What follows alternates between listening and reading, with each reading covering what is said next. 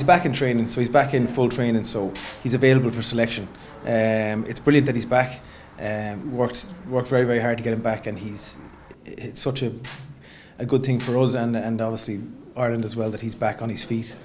Um, and as soon as we can get him up and running on the field, uh, the better, the better for, for everyone.